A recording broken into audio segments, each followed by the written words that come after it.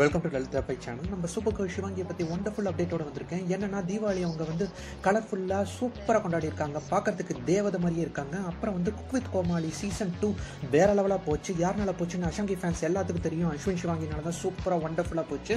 இப்போ வந்து cook with Comali three வந்து ஷூட்டிங் வந்து ஃபுல் ஃப்ளெஜில் போயிட்டுருக்கு. ஆக்சுவலாக வந்து அவங்க வந்து ஆட் பண்ணியிருக்க வேண்டியது செப்டம்பர்லேயே ரிலீஸ் பண்ணியிருக்க வேண்டியது. ப்ரொடக்ஷன் ஹவுஸ் மீடியா மேஷன் வந்து விஜய் டிவியில் ரிலீஸ் பண்ணியிருக்க வேண்டியது. இப்போ வந்து அது ஃபுல் ஃப்ளெஜாக வந்து ஷூட்டிங் போயிட்டுருக்கு. அதில் வந்து முக்கியமான இதாக வந்து குக்வித் கோமாளியில் சிவாங்கி ஷியோராக இருக்க போகிறாங்க புகழும் இருக்க போகிறாங்க அண்ட் பாலு பாலாவும் இருக்க போகிறாங்க அப்புறம் வந்து அதில் கண்டஸ்டண்ட்டாக பிக் பாஸ் சீசன் ஃபோரில் இருக்கிற ஒரு முக்கியமான விஐபி கண்டஸ்டண்ட்டாக கலந்துக்க போகிறாங்க அது யாருங்கிறது தெரிஞ்சுக்க stay tuned to Lalitha five like share and subscribe to this channel கம்யூனிட்டியில் ஓட் பண்ணுங்கள் அண்ட் வந்து cook with Comali season two நம்ம வேற லெவலாக என்ஜாய் பண்ணோம். அஷாங்கி phones cook cook with Comali season த்ரீயும் செம்ம சூப்பராகவும் ஒண்டர்ஃபுல்லாகவும் ஃபன்னையாகவும் அதே மாதிரி வே அதை வந்து செட்டையே வந்து வேற லெவலாக மாற்றிருக்காங்க அப்புறம் வந்து ஜட்ஜஸாக சேம் வெங்கடேஷ் பட் சாரும் தாமு சாரும் வர போகிறாங்க அப்புறம் வந்து அதை ஹோஸ்ட் பண்ண போகிறது Rakshan. We are waiting for cook with Comali season three Shivangi see you bye bye